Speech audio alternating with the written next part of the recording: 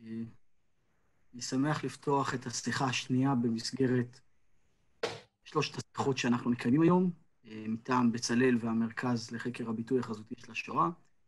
אז מי שהצטרף אלינו וממשיך את השיחה שהתחלנו עם מישל, מישל קישקה, אז אנחנו כרגע, נתמק... אני אדבר עם פרופסור חנן דה לנגה, ואנחנו נדבר על חללים ועל עיצוב ועל מפעל ההנצחה החשוב שהוא היה אחראי לו, וזה הקמת הביתן היהודי באושוויץ. לפני שאנחנו נתחיל את השיחה, אני אציג את פרופסור דה לנגה, ונשתדל לעמוד במסגרת זמן של חצי שעה.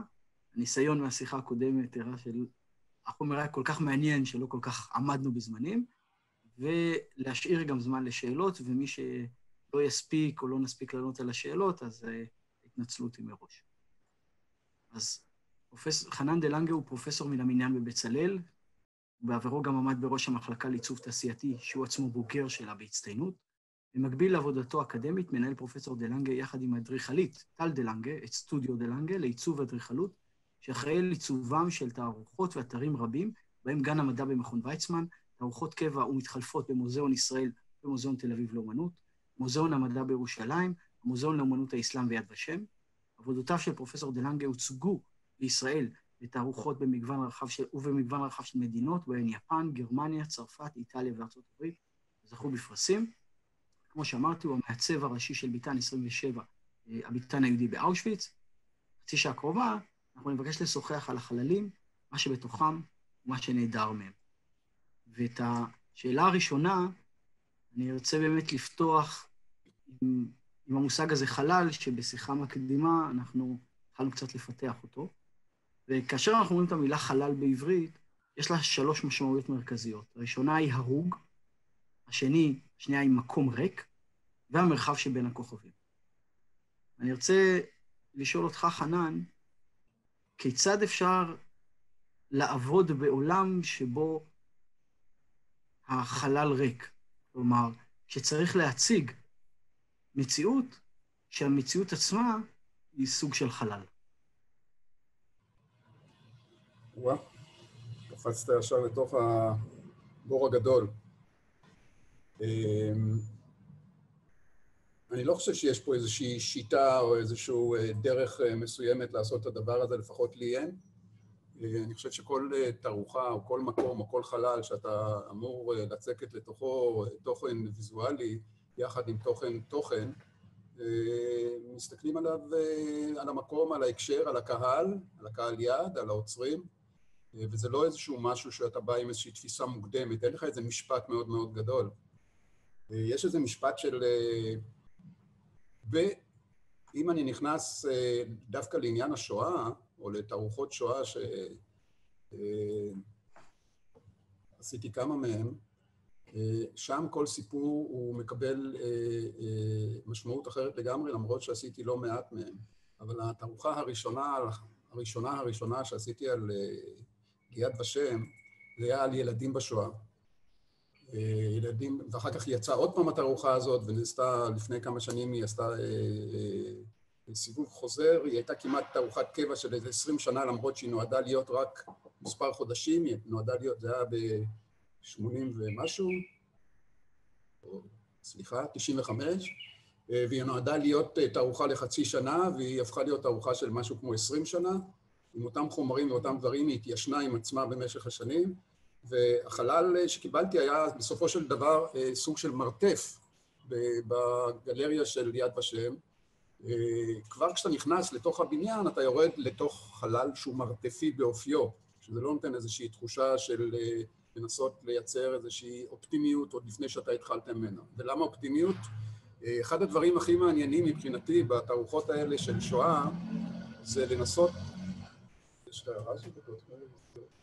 לנסות לקחת את החוויה הזאת של הריק, כפי שאתה קורא לה, ולא להתייחס אליה בשחור לבן בלבד. ואני מדבר על שחור לבן משום שהשואה הצטיירה לנו כילדים, ושוב, גם אנחנו דור שני, כשחור לבן, כל הטקסים, כל התמונות, העיתונות, הכל היה בשחור לבן. ושחור לבן בעצם יצר איזושהי תחושה של כבדות ואבל כל הזמן, בעוד הילדים שחיו וגדלו וציירו ושיחקו בתקופה ההיא, הם היו ילדים, קודם כל. הם לא היו תחת העניין של שואה מעל הראש, הם ניסו לחיות את היום-יום. וכשאני שואל את אימא שלי מה היא עשתה באותו מחבוא, אימא שלי הייתה בעליית גג, אנה פרנק סטייל, כמה שנים, זאת אומרת, כל המלחמה בעצם, לא כמה שנים. והיא אמרה, אז שיחקנו והלכנו לעשות כזה דבר ודבר אחר, והלחץ מסביב היה צבעוני, זאת אומרת, הסתכלת דרך החלון, ראית את השדות, ראית את הפרחים, ראית את העצים. והדבר הראשון שבאותו חלל של תערוכת ילדים הזו, שלפני, שלפני כל כך הרבה שנים, חשבתי שצריך להכניס צבע. הדבר הראשון שחשבתי עליו, שצריך להכניס צבע לחלל הזה. כי זה ילדים, וילדים הם רואים את הדברים בצבעים, גם כשהמצב שלהם הוא לא טוב. והאמירה הזאת, אמרתי ליהודית ענבר, שהיא ליוותה אותי ברוב התערוכות, אם לא בכולם, ברוב התערוכות של יד ושם. יהודית ענבר הייתה ועדיין אדם מאוד מאוד פתוח גם לרעיונות, ולמרות שהיא נבהלה קצת מהרעיון של להכניס צבע לתערוכת, לתערוכת שואה, שזה לא היה מקובל, גם המבנה הגדול שעמד מאחורינו, המוזיאון של יד ושם, היה כולו עדיין צבוע בשחור לבן, וכולו היה מאוד מפחיד. למשל, אני מעולם לא הייתי באופן סדיר ביד ושם כמבקר, אפילו לא כתלמיד, וכשראיתי את זה בפעם, בפעמים, בפעמים הראשונות, כשבאתי לבקר שם לקראת העבודות, אני נחרדתי. למרות שהמשפחה שלי גם עברה, והסבא וכל הסבאים והסבתא, גם מצד האבא וגם מצד האימא, נעלמו בשואה, המקום נותן לך חבטה של פטיש גדול מאוד על הראש. אני מדבר על העיצוב הקודם של יד ושם.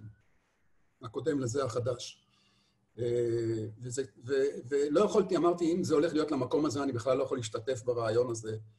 אבל יהודית הלכה עם הרעיון הזה ונתנה, פתחה את העניין שבעצם נקודת מבט צריכה להיות מהצד גם של הילדים, וגם של, כמו שילדים רואים את הדברים. והתערוכה באמת קיבלה איזשהו צבע. אז החלל, במקום להיות שחור לבן, אחיד, ורק נמוך וכואב, הוא נמלא איזושהי שמחת חיים של צורך בחיים וצורך בשמחה. זה, זה היה אולי הפעם הראשונה שנפגשתי עם חלל ריק, כפי שאתה קורא לו, ומתייחס לחללים, אך מבין שה... ה, ה, הילדים ששיחקו שם וציירו שם ועיירו שם, הם עשו את זה גם בצבע. לא יודע אם זה עונה לך באיזשהו מקום על העניין של uh, החלל. חלל, ה... אתה רוצה לשאול איזשהו דבר בקשר אני לזה? רוצה, אני רוצה ש... קודם כל, זו התחלה של דבר, משום שאני לא חושב שאפשר באמת, גם בשיחה כל כך קצרה, לענות על, על הפעולה הזו, אבל אני ארצה כרגע, ואני אתייחס אליה, אתייחס אליה בהמשך, אבל כרגע אני רוצה לקשר בין שני דברים שאתה אמרת, ואחד מהם זה שהתערוכה הראשונה שלך עסקה בילדים, ואתה ציינת שאימא שלך, אמך, הייתה ילדה בשואה. נכון, אימא שלי הייתה ילדה בשואה, ויש לנו תמונות אה, אה, מדהימות מהתקופה שלפני השואה, שבין המלחמות. וזה עוד אחד מהדברים שאחר כך הכנסנו כאחד מהמתודות, אחד מה, מהדברים העיקריים באושוויץ, בתערוכה, בבלוק 27, שהחיים בין המלחמות, או החיים של היהודים, היו חיים בצבע, אם אני ממשיך רגע את הרעיון הקודם, משום שכשאתה רואה את התמונות המשפחתיות, הצילום בצבע כבר היה קיים בתקופה הזאת, ואתה רואה הרבה מאוד משפחות, לא הרבה מאוד, כי לא היו המון סרטים, אבל התחלנו לחפש סרטים לקראת החומר, לאיסוף של, של התערוכה באושוויץ, אז ביקשנו לחפש סרטים צבעוניים, כמעט באופן מפורש, כי בסופו של דבר אנשים צילמו את החיים שלהם, וצילמו את שהם נמצאים בחופש או במסיבה משפחתית, והתחלנו למצוא הרבה מאוד דברים שקורים בצבע. ולמה המשמעות של צבע? שהשחור, כל תמונה שהייתה בשחור לבן מיד הדביקה את זה לאיזשהו מהלך של שואה ומוות, בעוד הצבע, הצבע הכניס את זה לאיזשהו מהלך של חיים למרות הכל. אימא שלי, בתמונות ילדות שלה, רואים אותה יושבת בחדר עם צעצועים, רואים אותה בסרט, יש לנו סרט משפחתי מ-38 או 39, שרואים אותה מטיילת על חוף הים עם משפחתה, בבית שלה, עושים מסיבה, סרטים ממש איכותיים מאוד, גם באיכות וגם בנראות החסרת סכנה ושמחת חיים שלה ושל שני אחיה והוריה, מטיילים. והמלחמה, אפשר להגיד בליל הבדולח, אם ניכנס קצת ככה לתוך הדבר, זה ממש ליל הבדולח, הם גרו באחן, הם חצו את הגבול ונשארו בהולנד במשך תקופת המלחמה, ושם הם גם הסתתרו. זה היה מהלך שהסיפורים בבית, אני לא יודע, זה כבר עכשיו, שאנחנו ביום השואה, אז יש המון המון סיפורים, ובסוף כל הסיפורים האלה הופכים להיות למין איזה מארג אפור כזה, כי כל אחד הסיפור שלו הוא סיפור כבד ויחיד, ויחידני, סינגולרי, ובכל זאת הסיפורים כולם הם מקבלים איזה מין אה, מעטה, צמיחה, אה, אה, ואני שמעתי באמת, גם בתוקף עבודתי, אבל גם אה, ככה מעבר לזה, הרבה מאוד מהסיפורים האלה, והסיפור שלה הוא סיפור כמו הרבה מאוד סיפורים אחרים, שמישהו שהסתתר כל המלחמה, אבא שלי ברח כל המלחמה, את ההורים של שניהם תפסו, כל אחד בצורה אחרת, את, אימא, של, אימא שלי תפסו אה, ממש לקראת סיום המלחמה על ידי הלשנה של איזה שכן שראה אותה, אה, שכנה שראתה אותה, אה, אבא שלה בימים הראשונים של המלחמה, כל אחד הלך ונעלם, התפוגג, והיא בעצם ושתי אחיה נשארו לבד. אתה רואה את החיים המאושרים שהיו לה באחן, בגרמניה, בבית, בחדר הילדים, בטיולים, בזה, ואתה פשוט... תמיד אני... לא, זה לא הייתה אימא אה, שמספרת בבית, לא כמה, זה לא היה בית שואתי. לא היה שם את הסיפורים של השואה, ולא קמנו בבוקר עם יותר לאכול ופחות לאכול. כל הדבר היחידי שהיא חינכה אותנו, כאילו היא לא הייתה בשואה, היא דיברה רק על האדם, על האדם שעומד מולך, לא על צבעו ולא על מינו ולא על שום דבר, ועל הערכים הבסיסיים ביותר של היחסים בין אדם לחברו. זה היה המוטו, השואה לא הייתה שם בכלל. זאת אומרת, היא כמובן הייתה. בשנים היותר מאוחרות אנחנו התחלנו לשאול, והיא פתאום צצה, אם כי לא בצורה הקיצונית, זה כל, היינו צריכים די לבקש שתספר לנו, זה לא קרה באופן אה, יזום על ידה, וגם, וגם התשובות היו בדרך כלל לקוניות, כן, אז היה ככה, כן, היה ככה. היא אפילו לא הסכימה לתבוע את הגרמנים או את זה על, על מה שקרה לה, לא קרה לי, אני הייתי וזה עבר וזהו. אה, אבל אני לא זוכר מה שאלת. לא, אז אני אשאל שאלה חדשה. אוקיי. אתה נוגע בנקודה שעבורי היא אתגר גדול. אני אומר, עבורי, עבורי כאדם שמלמד היסטוריה של השואה, היא אתגר. איך לשבת מול סטודנטים ולהסביר להם שהשואה באמת לא הייתה שחור לבן. להסביר להם שהשואה נאמר, אנשים בשואה לרוב לא ידעו שהם בשואה. כלומר, כאשר הנאצים למשל נכנסים לפולין, כובשים את פולין בספטמבר 39, היהודים בוורשה לא מודיעים לעצמם, אוקיי, התחילה השואה, אז בואו נתנהג בהתאם כדי שהדורות הבאים יזכרו אותה. הם פשוט חיים בשואה. כלומר, אנחנו יודעים לספר היום ממרחק הזמן שתקופת חייהם הייתה השואה. וכאשר אני בוחן את, ה... את העבודות שאתה מייצר כ... כמעצב, ואני שואל את עצמי, איך אתה עושה את מלאכת התרגום הזו? כלומר, איך אתה לוקח משהו שאני, מבחינתי זה ידע היסטורי, דוקומנטרי, טקסטואלי, ש... שאני מציג אותו בצורה פשוט הכי, הכי ברורה. אני מציג סרט, אני קורא עדות, אני קורא מחקר על העדות. כן. איך אתה עושה כ... מעביר את הידע ההיסטורי הזה ומתרגם אותו לאובייקטים, לחללים, לצבעים? אוקיי, אני יכול אה, פשוט להראות את הדוגמאות, אני הכנתי פה איזה כמה שקופיות, אתה רוצה שאתה משתף... אנחנו נשמח. אתה יכול עצמך לעשות את השיתוף מסך, ואנחנו נראה את זה.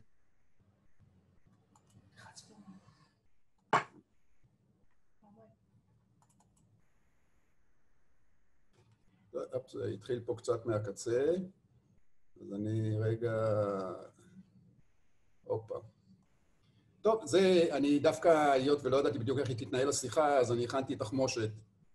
אז, אה, אז אה, פה אנחנו רואים את האימא שלי ואבא שלי, שבעצם הגיעו לארץ די אה, בשנת 50, אחרי שאבא שלי היה איזשהו מדריך נוער באמסטרדם, והעלה הרבה מאוד אנשים, ומיד אחר כך עלה עם אימא שלי, ותוך זמן מאוד קצר היינו רביעייה, אני הקטן ביניהם פה, מה שאתה רואה, הוא עומד מקדימה.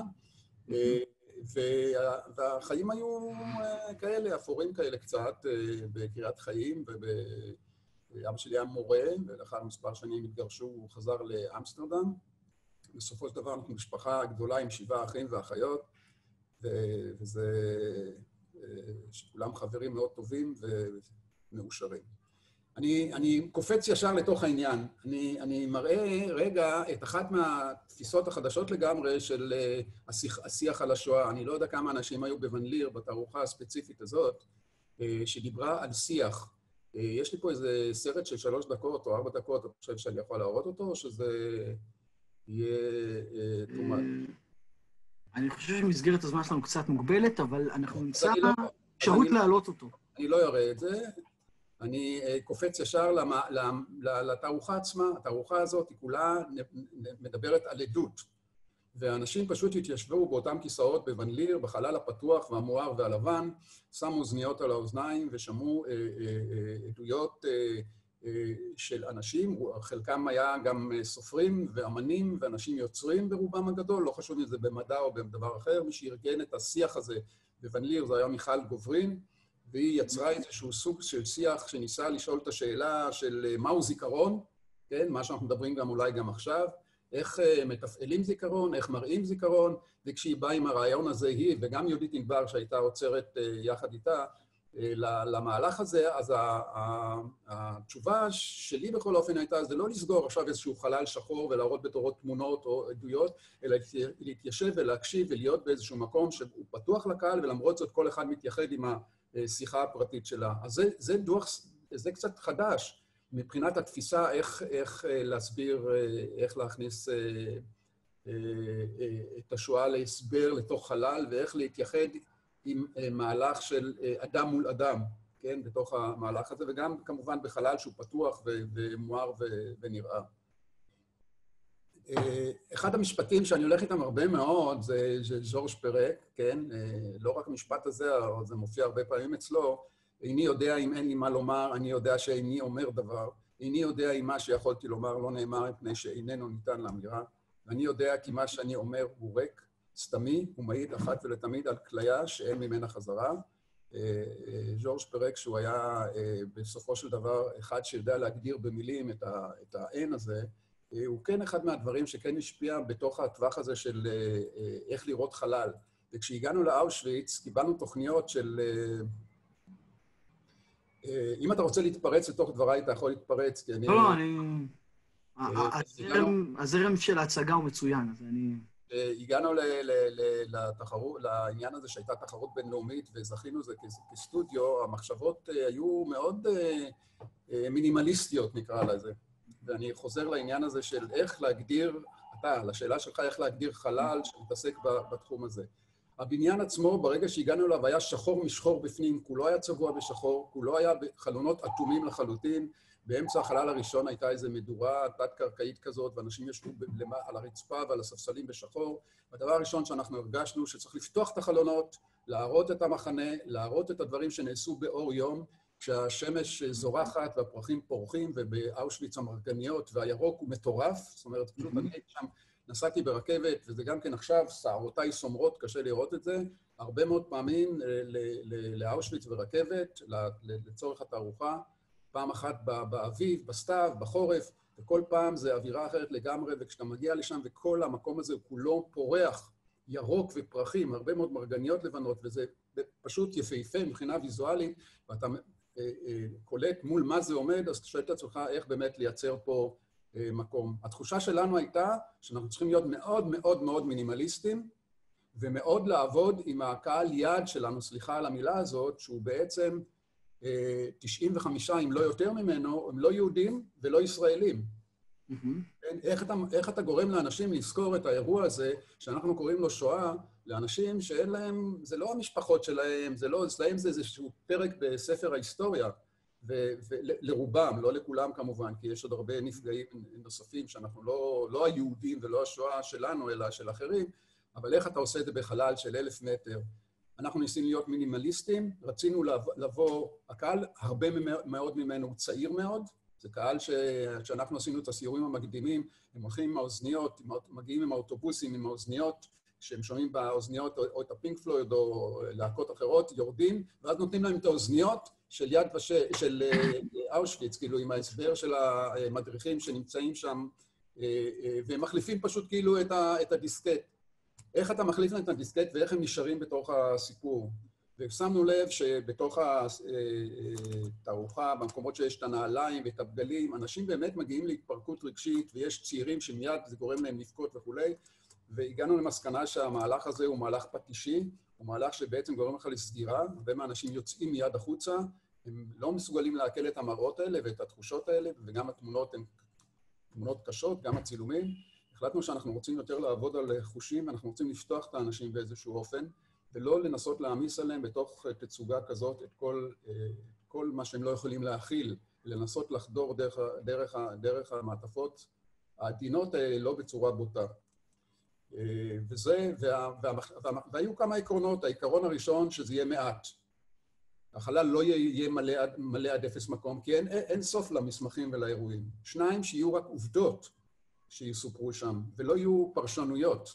למרות שבסוף הצליחו להכניס לנו כמה פרשנויות, צריך לזכור שה, שיד ושם יש לו אה, את הערכים שלו, והמוזיאון באושוויץ יש לו את העניינים שלו, וזה היה, זה היות וזה פרויקט בינלאומי, אז היו גם את השיחות והמאבקים שבין... אה, היום זה היה הרבה יותר קשה לעשות את זה מאשר אז. אז עוד היה יחסית יחסים שהם יותר קלים בתוך התחום הזה, אבל עדיין היו מאבקים. אנחנו חשבנו על לעבוד על חללים מינימליים, וחשבנו לעבוד על תחושות ורגשות, ופחות על עומס. וחילקנו את החללים לפי נרטיב או סיפור אחד מההתחלה ועד הסוף, כשהחלל הראשון היה הכניסה הזאת, ולאחר, ושמרנו כמובן על כל החלונות איפה שאפשר היה, על שקיפות מלאה כדי שאפשר לראות החוצה. שוב פעם, משום שזה קורה באור, באור יום. החלטנו שאנחנו מתחילים את, ה, את המהלך הזה, ב, זאת אומרת, כמובן שאני אומר החלטנו, זה כמובן יד ושם ועוד עשרות, הרבה מאוד אנשים שהם מעורבים בפרויקט הזה, זה מאות אנשים, בסופו של דבר גם בתוך התערוכה עבדו משרדים שונים ואמנים שונים, וזה מאוד מגוון. אנחנו קיבלנו, היינו הצומת של העיצוב, אבל היו עוד היסטוריונים כמובן וכולי וכולי. אז אני אומר, אנחנו זה הרבה אנשים. ההחלטה להתחיל את התערוכה במשהו שהוא מאוד דווקא אופטימי, זו הייתה תפילת אני מאמין. במקום להתחיל מהדבר הנמוך והכבד והמכה, לפתוח את האנשים, ומשם, אנחנו גם לא שינינו לחלוטין את המבנה של האלף מטר של ה...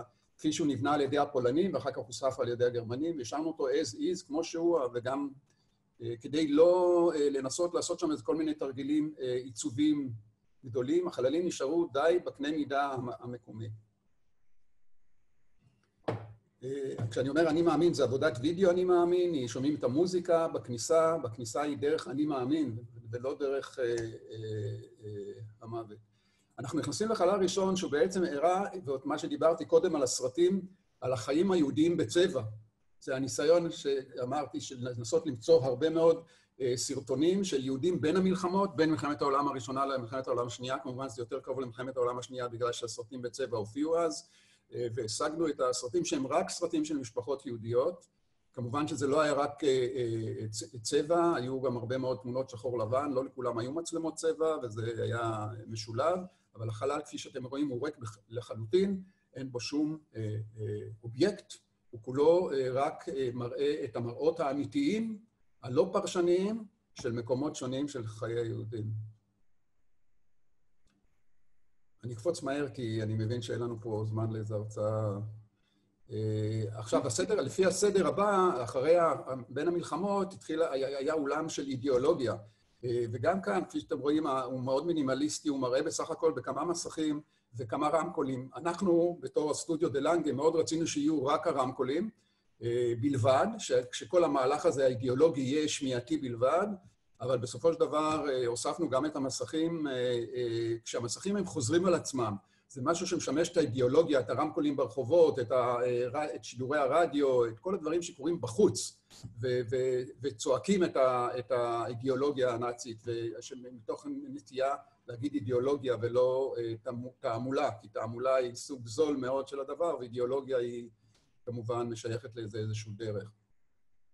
מהרעש השחור הזה שהיה לנו פה, מאוד מאוד מאוד מאוד רועש, ששומעים בתוך הרמקולים את הנאומים ב-FM, AM, זה צרצור של הקולות ושל האירועים שרואים למעלה, החלל הבא הוא חלל שמדבר על הרצח בלבד.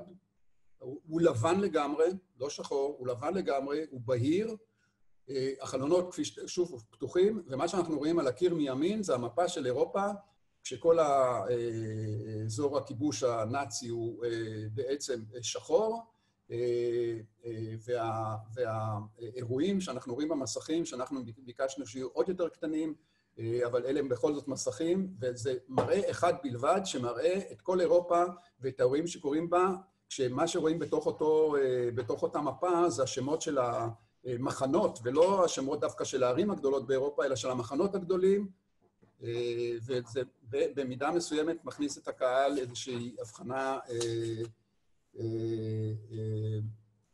מאוד נקייה, בהירה. זה נעשה על ידי אדי שטרן והצוות שלו, שהם היו המעצבים הגרפיים של ה... של ה... או התקשורת הרצותית, כמו שקוראים לזה היום, של כל התערוכה. והניקיון הזה הלך בד בבד באמת עם כל הגורמים שעבדנו איתם, וזה היה ניסיון להמעיט כמה שיותר באינפורמציה. אתם רואים שלאתר הזה קוראים גיאוגרפיה של רצח. מה שאנחנו רואים מלפני, מלפנים, אנחנו רואים בעצם את בירקנאו, שזה היה במחנה השמדה, והרעיון, אני לא יודע אם עדיין היום זה ככה עובד, זה אונליין של בירקנאו. זה לא סרט על בירקנאו, זה, זה אונליין, איך שהוא נראה ברגע זה. ולמה זה היה כל כך חשוב? משום שבירקנאו, שוב פעם, כמו ארשוויץ, אתה מגיע אליו בסתיו או באביב או בחול, הוא ירוק והוא פרחוני, והעניינים שעומדים, אם לא מספרים את הסיפור, ודווקא היבשושיות הישירה הזאת, שזה המקום שבו נרצחו אחד נקודה משהו מיליון יהודים, וזה המקום עצמו, ואנחנו מראים אותו כמו שאנשים, שרואים אנשים מטיילים בתוכו, זה נראה מין פארק גדול כזה. דווקא הפער המאוד גדול הזה בין המציאות העכשווית לבין מה שנעשה שם, זה מה שאנחנו רצינו לעשות. החלל הזה הוא שקט בצורה מחרידה, אנחנו עבדנו מאוד מאוד קשה באמצעים טכנולוגיים כדי שאנשים שנכנסים לפה אחרי האידיאולוגיה כמעט ישמעו את הלב של עצמם. זה כל, כל מה שאנחנו רואים על הקירות והציפוי של הקירות, הוא גרם לזה שהקול של האדם שהולך בתוך החלל ייספג בתוך האמצעים האלה, כדי שאתה, כדי שאין פה שום סאונד, השקט הוא מוחלט, להבדיל מהמאה אחוז מהחלל הקודם. אני רוצה לשאול אותך, איז, איזו תחושה ליוותה אותך בזמן העבודה ו- וקצת לאחריה? כלומר, כאשר אתה עובד על הפרויקט הזה, ובסוף אתה רואה את הפרויקט הזה עומד ומוגמר, ואנשים באים ומבקרים בו, מה, מה אתה מרגיש? אתה מרגיש שאתה שליח, אתה מרגיש סיפוק מקצועי, אתה מרגיש שעשית כאן מעשה שבמובן של זיכרון השואה הוא אחד המפעלים החשובים בעולם, משום שהוא נמצא באתר הרצח החשוב והבולט והפופולרי ביותר? מה, מה התחושות שאתה, שאתה יוצא אחרי שאתה רואה את הפרויקט הזה עומד על הרגליים? אמ, אני לא יודע כל כך איך לענות על זה, אני לא... אני לא חושב ש... אני חושב שאפשר להפריד בין התחושה האישית לבין התחושה, התחושה המקצועית קצת, כן? זה לא אותו דבר. אה, הביקורים האלה באושוויץ ובכל המקומות הנוספים והידע שהולך וגדל אצלך בראש, הם בעצם מובילים אותך לא סתם למילה הזאת של פרק, למשפט הזה של בעצם אין דרך טובה אחת לנסות אה, אה, להראות או להסביר, אפילו המילה הזאת, ויזואליזציה, או ויזואליזציה של השואה, כן? כאילו ויזואליזציה זה איזשהו ערך... אה, היא מטרידה. אני לא יכול להגיד לך שאתה יודע, לפעמים אה, אנחנו, כשהצענו את ההצעה, ההצעה הייתה הרבה יותר ריקה, כשהצענו את ההצעה לתחרות. היא הייתה אה, כמעט, אבל, אבל אתה יודע, זה בדיוק ההבדל בין אנדרטה לבין מוזיאון, כן? באנדרטה אתה רוצה במכה אחת להראות דבר אחד, ועוד במוזיאון אתה רוצה שאנשים גם יצאו, איזשהו, יצאו עם איזשהו ידע, עם איזושהי תובנה, שהם יצאו אחרת ממה שהם נכנסו, בעוד אנדרטה, וה... וזה, כן, זה סוג של דבר שאם אנחנו, אין סוף, אנחנו הרגשנו בסופו של דבר, היינו מר, אה, אה, אה, עם תחושה של גאווה ושמחה מזה שזה יצא קרוב כמה שיותר למחשבות שלנו, אבל אני עדיין, גם היום, בתחושה שאולי להמעיט זה היה משאיר לי, אבל אני חושב, אני, זה לא, שוב פעם, אני לא הקהל, אני חושב ששוב פעם, אנחנו צריכים כל הזמן לקשור ולהרוג בין הקהל הספציפי שאנחנו מדברים עליו לבין התערוכה הקיימת, כמו בכל תערוכה. אני רגע הופך את זה לעניין אה, אזרחי פשוט. יש תערוכה, אנחנו, יש לנו קהל, אנחנו צריכים לדעת איך לחבר ביניהם. והחיבור הזה היה בינינו חיבור שעובד. אנחנו מקבלים עד היום הרבה מאוד תגובות מאנשים שונים, סך הכל תגובות שהן מרגשות. אנחנו לא מקבלים יותר מדי מאנשים זרים, כי אנחנו לא נמצאים איתם באיזשהו קשר. אבל אני חושב שהביתן 27, הוא עשה בצורה מסוימת מהפכה בהנגשה של הנושא הזה. היא מאוד ריקה, היא מאוד רעיונית, היא מאוד אה, אה, אה, מינימליסטית. אני מראה פה את האתר, את המקום, את העבודה של מיכל רובנר, שבחלל של הילדים, הרי נרצחו כמיליון וחצי ילדים, ההחלטה הייתה ללכת על ציורי קיר, החלטה, הרעיון שלה היה ללכת על ציורי קיר, אחד לאחד, על גבי הקירות, זאת אומרת, העתיקה את הציורים של הילדים עצמם, שחלקם הגדול לא שרד, על הקירות, אחד-אחד ישבה ובמשך זמן רב ישבה והעבירה אותם, וזהו, החלל הוא בעצם חלל אה, ריק, והחלומות שלהם והצורות שבה הם ציירו עברו אל, אותו אה, קיר. וכשמסתכלים אה, מסתכלים על עכשיו על הקהל, זה היה בערב הפתיחה, שמסתכלים, אתם רואים שבעצם הקיר לכאורה ריק. אבל אה, אם מתבוננים טוב, רואים שהאיורים הקטנים האלה נמצאים שם. והצורך של אנשים, או צורך, הרעיון הזה שאנשים בעצם מתקרבים ומתבוננים מקרוב, הוא הפך להיות נורא נורא אה, משמעותי. שוב פעם, החלל הוא ריק, יש פה מוזיקה, או לא בעצם מוזיקה, אלא שירה של ילדים מהתקופה. אני חושב שאני, הדבר, אחד הדברים שהשפיעו עליי באופן הכי חזק, זה גם העבודה שהייתי בה, מה שנקרא, אה, אה היא עברה המון תהפוכות, ספר השמות. Mm-hmm. ספר השמות של, אה, של, אה, של, של התערוכה הוא ספר, הוא מהלך אה, ענק. כי בעצם היום אתה יכול להיכנס ליד ושם, ובמחשב אתה יכול להגיע לכל שם ולכל דבר וכולי וכולי, אבל הרצון היה לייצר דבר שאתה נוגע בו, לייצר ספר, לייצר אפשרות של לקרוא בתוך אה, אה, אה, הספר הענק הזה, והוא נעשה בכל מיני צורות. אני פה פשוט רואים ממש, זה הערב הראשון. זו פעם ראשונה שאני רואה את השמות של המשפחה של אימא שלי, שטרוך, אה, שמופיעים פה, שטרוך אריק, שטרוך אה, אה, גוסטב, כל החבר'ה האלה שמופיעים כאן, הם כולם מהמשפחה שלי, ופעם ראשונה שראיתי אותם בקנה מידה אחד לאחד, זאת אומרת בספר, זה היה באוסף הזה. זה בעצם היה עשוי בצורה כזאת שכל הדפים האלה של הספר, מאחוריהם היה איזשהו מקור אור, אנחנו רואים את התמונה הזאת מלמטה, זה היו כרכים מאוד רבים, כל, כל חלק, אתם רואים שזה מחולק לכרכים, ממש כמו ספרייה, כל הספר הענק הזה שאורכו 14 מטר, הוא מכיל אה, קרוב לחמישה מיליון שמות, כולל מקום הלידה ומקום המוות, הוא נותן לקהל את האפשרות לדפדף, זה לפי א'-ב', לדפדף בתוך הספר, להגיע לשם של הספציפי, ובעצם אה, לפתוח אותו אה, ולראות.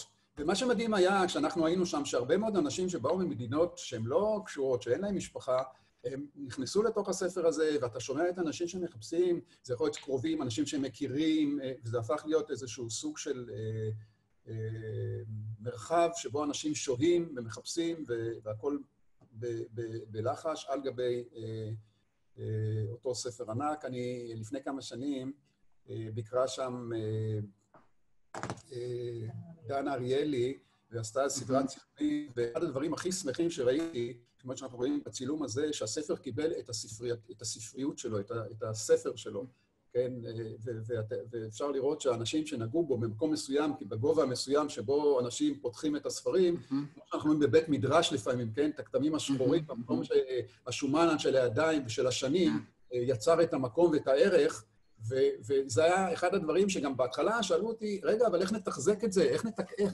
הוא התלכלך, אנשים ייגעו בזה. והתשובה הייתה, איזה יופי. זאת אומרת, אנשים ייגעו בזה ויראו שהם נוגעים בזה, והסימני הידיים ישאירו לזה את החיים, ובסופו של דבר הספר היום הוא, אני לא, אני לא ראיתי אותו בשנה האחרונה, אבל אני, ממה ששולחים לי, אני רואה שהוא הפך להיות זה ממש ביום הראשון. עם כל הכרכים שרואים פה, שהם עומדים כמו בספרייה והם יוצאים החוצה, אתם כאילו לא בשורה ישרה, אלא ממש כמו ספרים בתוך הספרייה.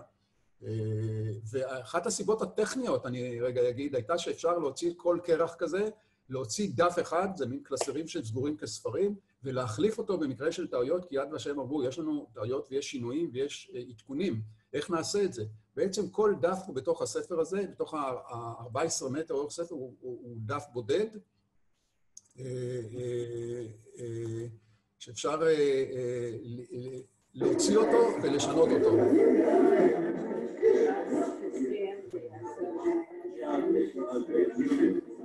אני, רק בזמן הזה, אני כבר יכול להציע למי מהמאזינים, מהצופים, לרשום שאלות בצ'אט, ואנחנו נבחר כמה ונענה עליהן. ואפשר להמשיך לראות את הסרטון.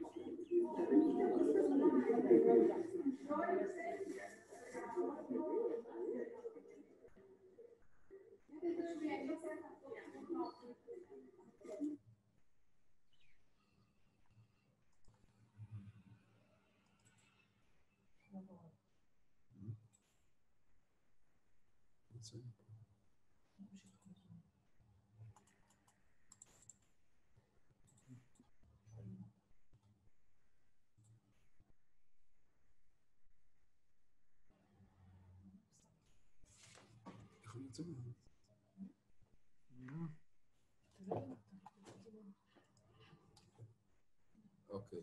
כן. אוקיי. אה, שאלה אחרונה שאני ארצה להפנות, באמת לעתיד.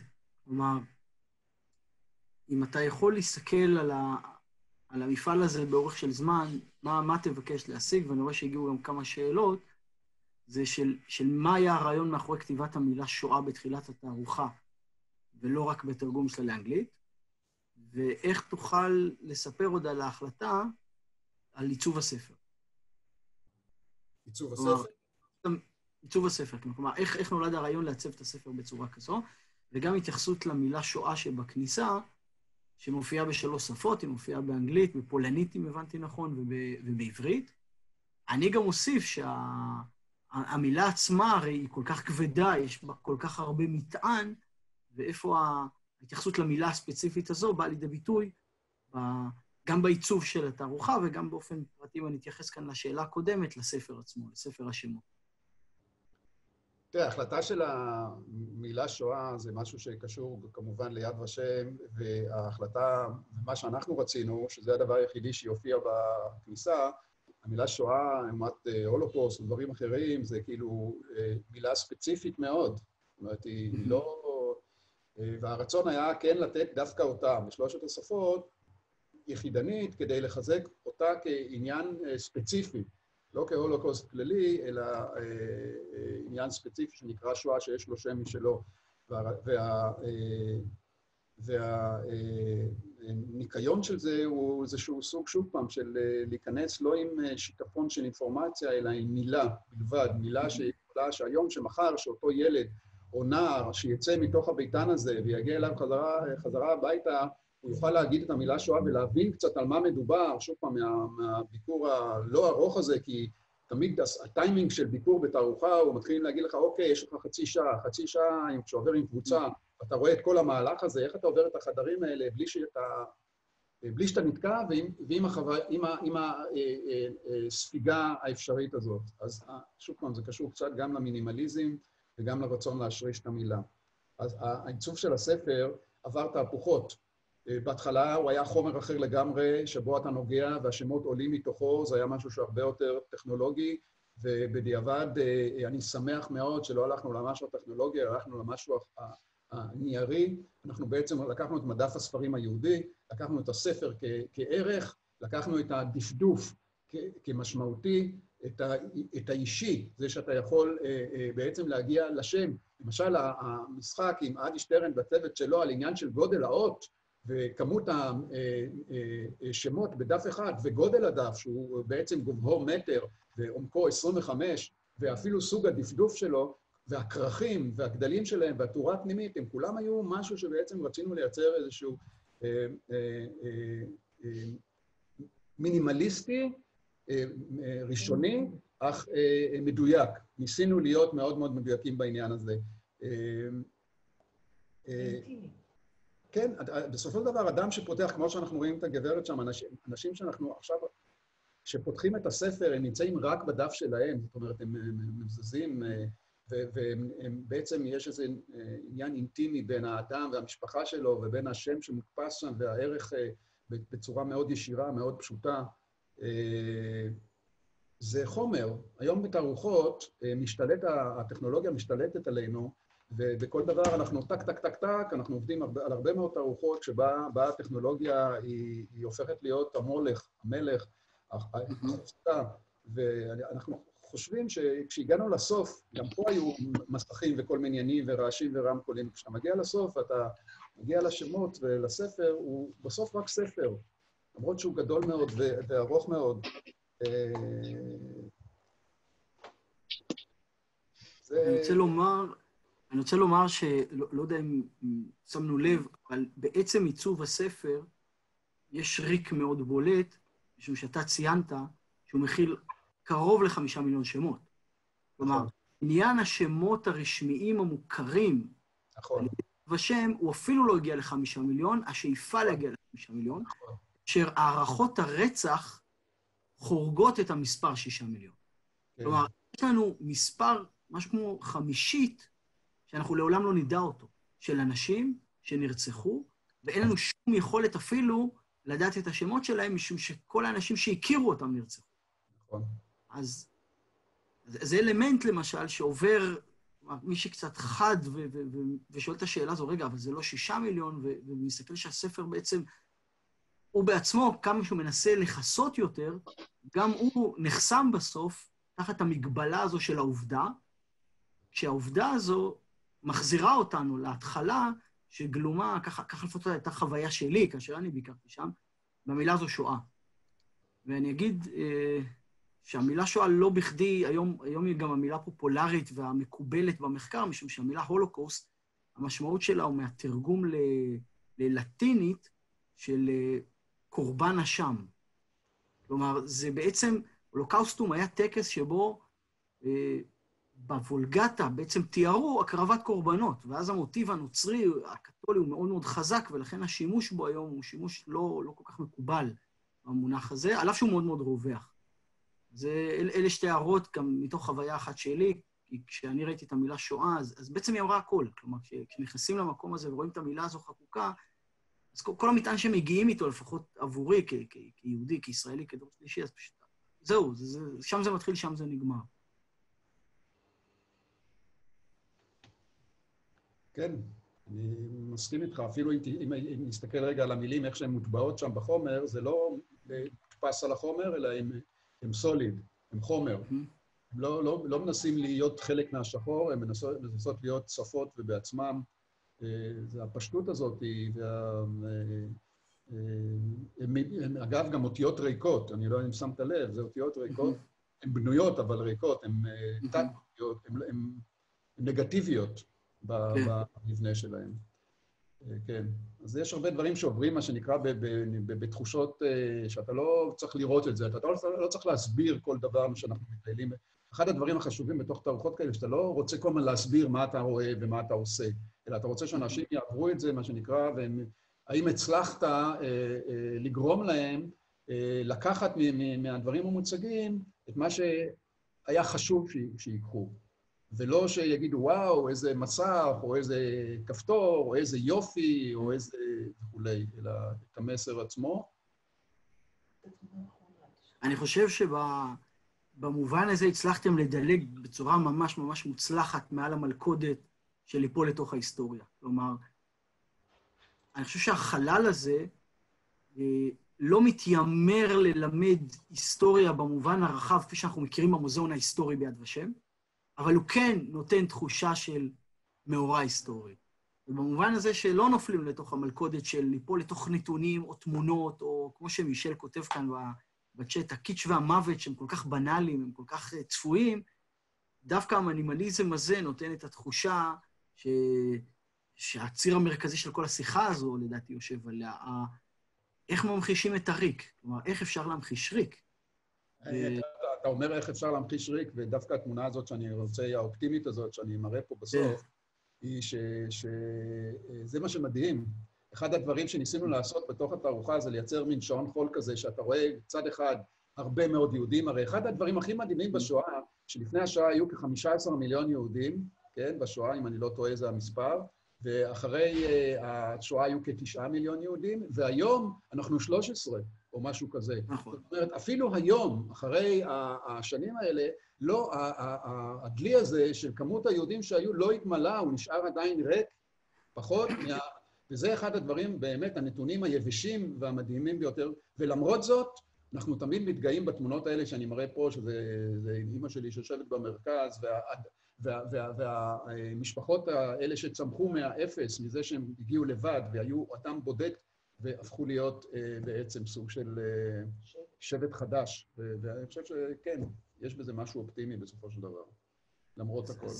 מה, מה, מה כמו התמונה הזו כדי לסיים את השיחה שלנו?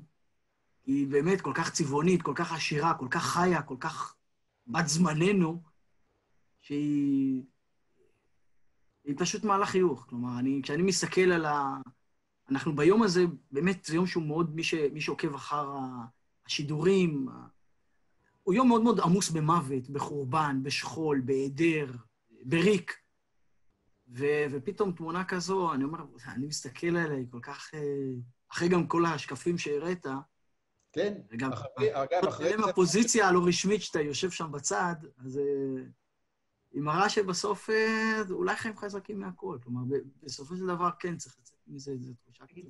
לא, לא קצת, אבל עם, אופטימיות. הרוע בסוף לא ניצח.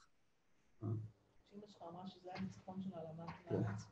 טוב, זה כמובן אה, משפט, פה טל אומרת לי שזה אימא שלי שאמרה את המשפט, שזה הניצחון שלה, ואני מתאר לעצמי שהרבה מאוד אה, הורים כמוה אומרים את זה, שזה הניצחון שלה על הנאצים. זאת אומרת, העניין הזה, המשפחה הזו, זה מה שמשאיר את ה... אחרי הכל את הלקונה הזאת של השואה, ומה ש... מה שנשאר, מה שהתפתח, זה לא...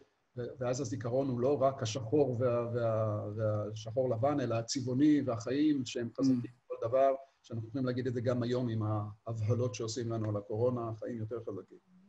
כמה השבט דלנגה מונה? כמה מונה השבט דלנגה? נדמה לי שמשהו כמו מיליון וחצי. לא, לא, אני לא...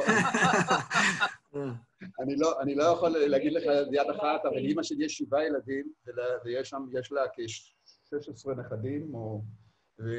ובאמצע עוד... ונינים, וזו תמונה, אגב, מיום הולדת המוקדם שלה, היום היא בת 91, והיא עדיין אה, רוקדת ופעלתנית, ואישה מופלאה ואופטימית. ואם אני יכול להגיד, תמיד אני בא אליה, אני אומר לה, למה את כל כך אופטימית ואני כזה פסימי? למה? למה? מה עשיתי? אז אני לא יודע. יש לה איזה כוחות על כאלה, ואנחנו, הדור הצעיר הוא פחות, אה, אין ספק, באמת, זאת אומרת, אני... כוחות שהם לא, לא, ברורים. כן. לא, לא ברורים. אני יכול להגיד לך, חנן, אני אספר, אה, סבתא שלי שהגיעה מליטא, היא הייתה מעשנת מאוד כבדה. כלומר, בזמן השואה הייתה לה ברירה, היא פעם סיפרה לי, או לאכול את העיתון או לעשן אותו. אז היא בחרה באופציה השנייה, ו...